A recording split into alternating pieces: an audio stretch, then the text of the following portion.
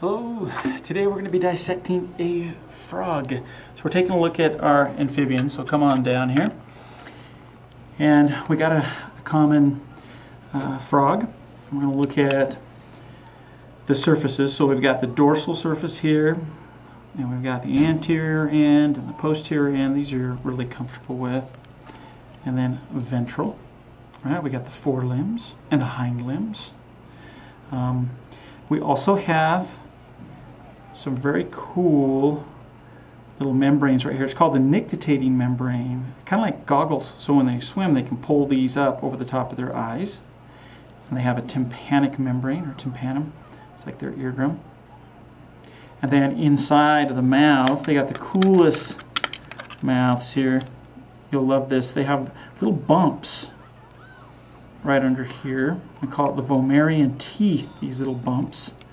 I know it's probably hard to see, but right here are the vomerine teeth. And on either side of it, there's these internal nares, these little openings. So internal nares, so I'm putting my probe in, and then vomerine teeth. And I'm, I'm pulling on the tongue and the lower jaw. That's the mandible. Here's the maxilla. You're familiar with that term. But you got to check out how this tongue works. So with the tongue, when it's, when it's eating, it'll flip the tongue like out of the mouth like this. So that it's actually connected in the front.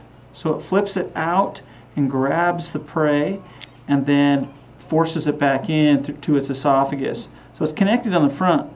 So it flips out, whew, grabs something, forces it down its esophagus and into its stomach. So a very effective way. Oh, here's the, the external nares.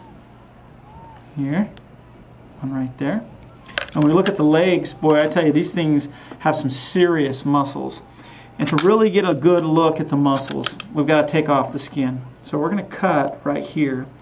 And these scissors are just not made for, for big hands, but we're going to cut around the skin here.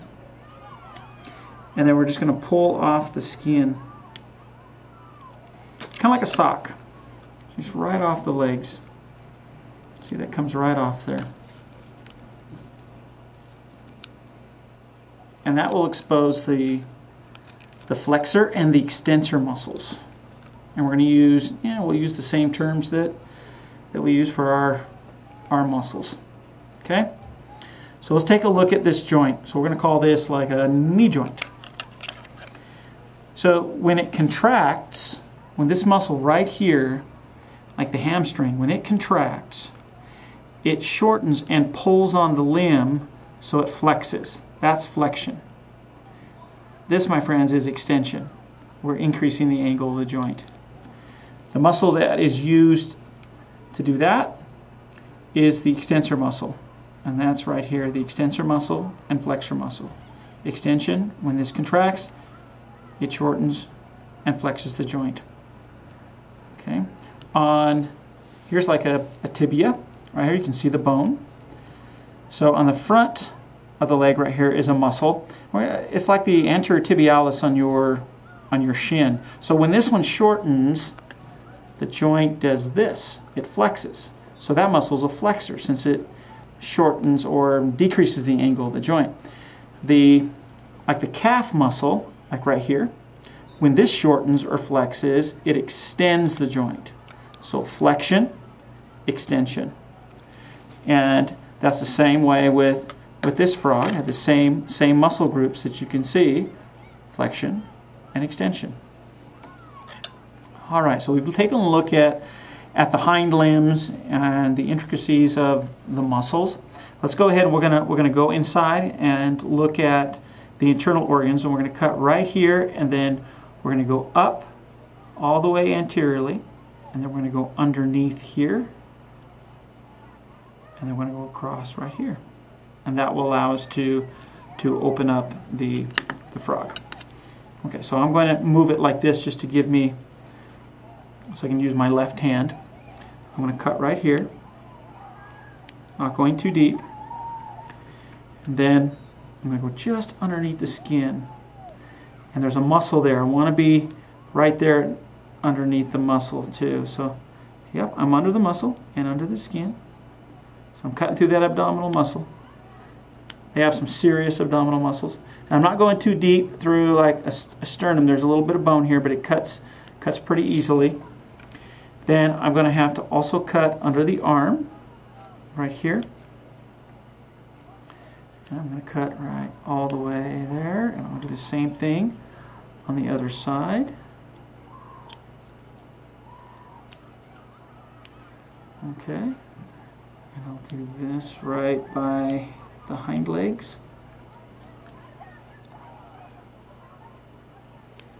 So, there we go. So we think I think I got it all cut the way we need that. And then so that we can get access to the internal organs, then we want to open here and pin. So we're using some pins to help us.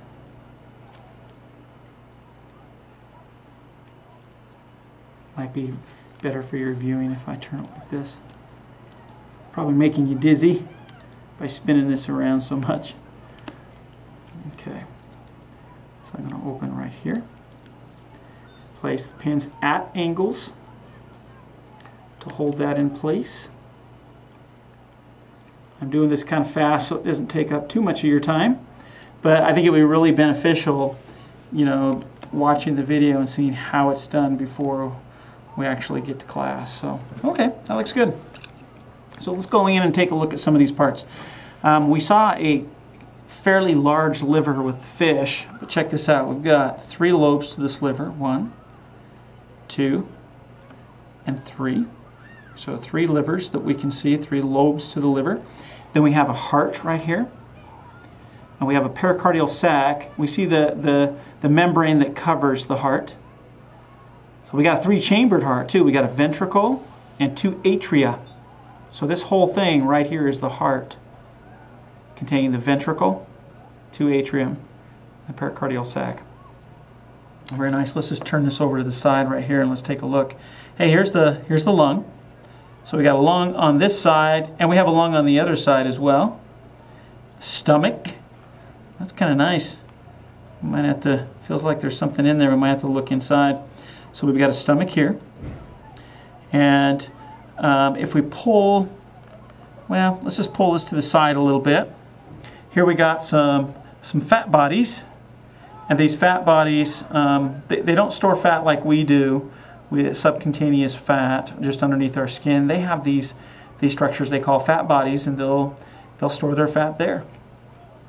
Also have, look down in here, we have the kidney so here's the kidney. Oh, here's the, the urinary bladder right here. So we got the urinary bladder. All right, I'm going to spin it around now. Look on the other side. So we should see another lung here, right? Yep, sure enough. There's the other lung. And let's look under one of these lobes of the liver. And it's going to be hard to see. There's the, there's the gallbladder right there. Looks like a little jujube. If you don't know what a jujube is, look it up. So there's the gallbladder.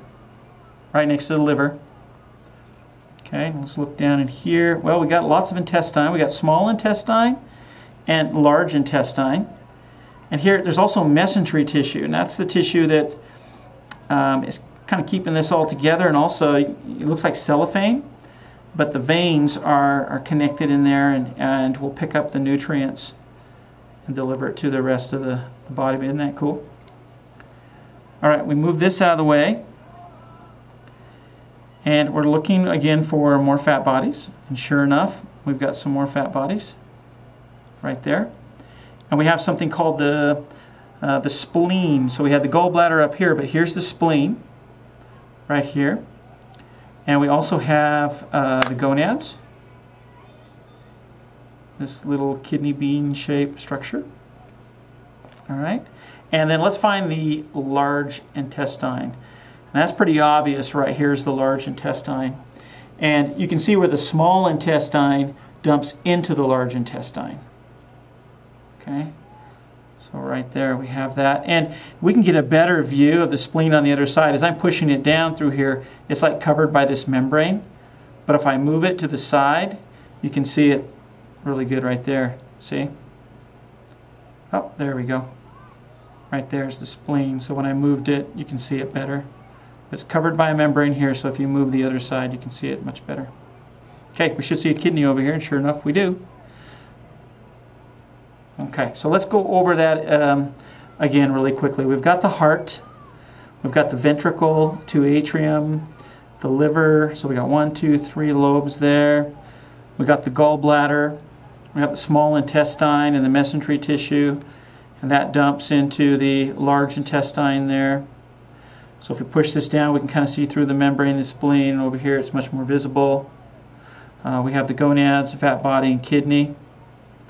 All right, on the stomach, we have a section of the stomach, this lower part right here that I haven't mentioned, that's the duodenum or duodenum, okay, right here on the stomach. And that about covers all the internal structures uh, that we're going to go over in the frog. Once you're done with, with that, if you'll go over the external and internal at least twice, our goal is to get 100% uh, on this, and we probably will ask you some function questions, you know, like which which uh, of these organs is involved in the excretory system or circulatory system. All right, well, thanks. And um, we hope to see you soon, and we'll dissect an amphibian.